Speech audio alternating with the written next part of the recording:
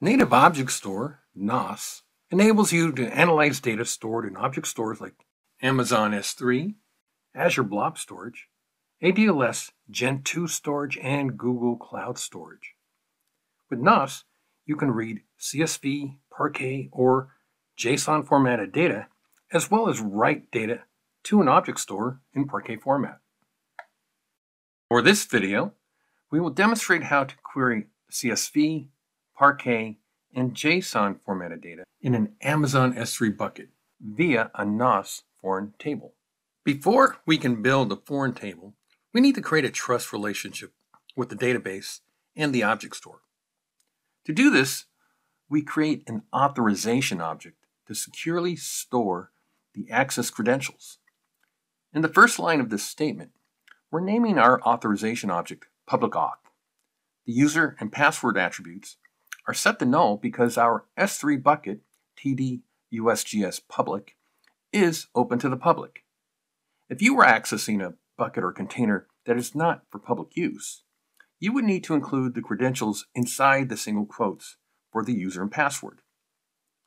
For an Amazon S3 account, you would set the user to the access key ID and the password to the access secret key. Let's run this statement. Now that we have an authorization object, we can create a foreign table. Since our TD USGS public S3 bucket contains CSV, Parquet, and JSON formatted data, we can create a foreign table for each type. First, let's create a foreign table for our CSV data. In the first line of our create foreign table statement, we're naming this foreign table CSV data. In the second line, we're specifying the name of our authorization object we just created, public auth, for the external security attribute. The third line is our using clause, where we're specifying the location URI where our data resides. Notice that in the location attribute, we have a folder named CSV data that follows the name of our S3 bucket, TD USGS public. This means that our CSV data foreign table is only sourced by those files stored under the CSV data folder. Let's run this statement. Our TD USGS public S3 bucket also contains Parquet formatted data stored under the folder called Parquet data and JSON formatted data in another folder called JSON data. To create the foreign tables for our Parquet and JSON formatted data, we would just need to change the name of the folder in the location attribute. Now we've already run these statements. Before we start to query our foreign tables, let's take a look at their definitions so that we can see the columns and data types they include. To see the DDL for our CSV data foreign table, let's run the statement show table CSV data. Notice that the request text is returned on a single line. We can view the full DDL by moving our cursor over the word create. Notice that our CSV data foreign table was created as a multi-set no PI table by default. And even though we did not specify the column names for our foreign table in our create table statement, it did a scan of our CSV data to determine the names and data types for each column. It also includes the column called location, which stores the URI for the source file. The using clause includes the metadata for the foreign table. Here we see the location that we supplied in our statement. Another important attribute in the using clause is the path pattern. We can use these path variables to filter our queries. Each path variable identifies one of the folders that follows the S3 bucket name in the URI for each CSV file. Notice too that even though we did not specify the names for our path variables in our create table statement, it was able to identify the site number as the second variable. Now let's run a show table statement for our Parquet data foreign table. Since the request text is returned on a single line, we just need to move our cursor over the word create to view the full DDL.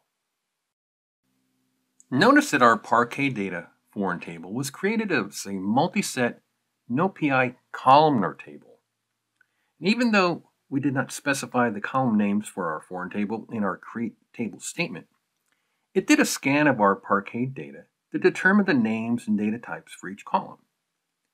The using clause includes the location that we supplied in our statement, and for the path pattern, the only difference we see is that the second variable is $var2 and not $site number. But we can use it to filter our queries against this foreign table by site number. Now let's run a show table statement for our JSON foreign table.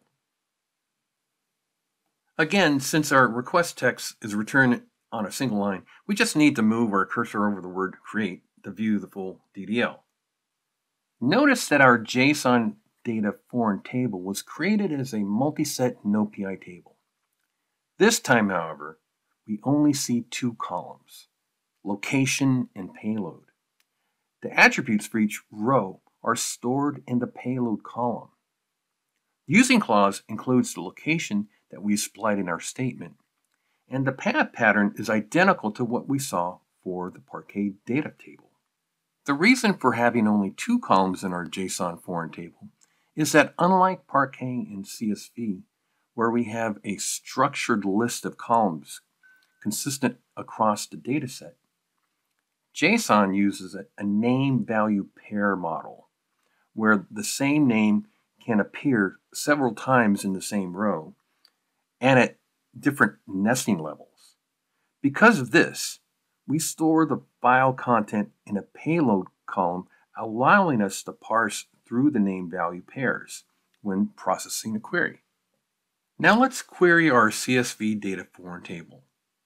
Since we know the names of the columns from its table definition, we can select the columns we want and filter our selection by a specific site number. In the first line of our select statement, we're going to project the columns site number, gauge height 2, and flow. And in the from clause, we are specifying the name of our CSV data table. And in the where clause, we are filtering our CSV data for only those CSV files whose site number folder is 9513780. This is called path filtering, which means we are applying the filter in the object store itself. Let's run this query. The output of our query has returned 10 rows because we specified top 10 in our select statement. Notice too that the site number column returned 9513780 for each row because we applied path filtering. Now we could have filtered on the site number column itself, but this would have caused our query to run much longer because the filtering would have taken place after NOS had transferred all the data for every site number from all the CSV files. Path filtering, on the other hand, only transfers the data we need for our query. To run the same query for our Parquet formatted data, we would make two changes to the statement. We would simply need to change CSV data to Parquet data in the from clause, and in the where clause, we would change dollar $site number to dollar $var2 as you recall from the DDL for our Parquet data foreign table, the path variable dollar $var2 represents our site number folder. We could also run the same query for our JSON formatted data, but this time we would need to make some additional changes. So in addition to changing Parquet data to JSON data in our from clause, and keeping the same path filtering in our where clause, we would need to change the first line in our select. And as you recall, the DDL from our JSON foreign table, the attributes were embedded in a column called payload. This requires us to use dot notation when referencing the attributes in the select statement. Notice that we've prefaced each attribute with the column name payload and separated them with a dot. Now you may have some users who want to query this JSON foreign table but may not be familiar with dot notation. For those users, we can put a view on top of this foreign table so they can query the JSON view in a manner as they would for any table.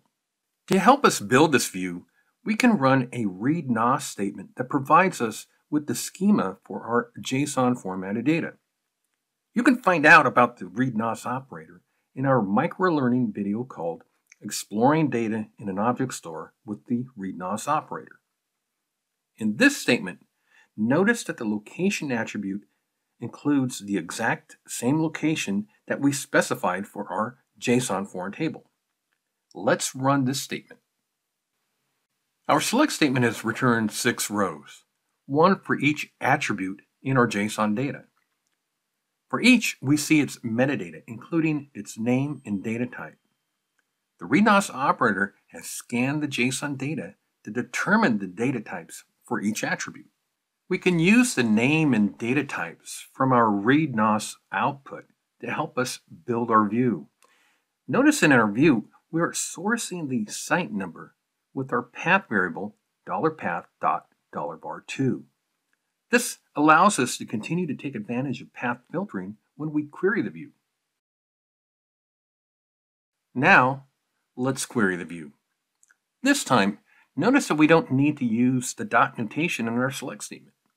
Also, notice that even though we did not specify $path.$var2 in our where clause, NOS will only transfer the data from the JSON files in the 9513780 site number folder. Let's run this query.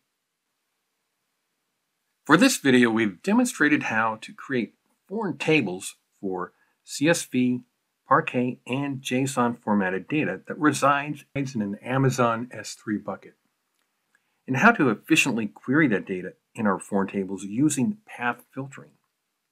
We also saw that dot notation syntax that's needed when creating a JSON foreign table and how we can place a view on top of that foreign table.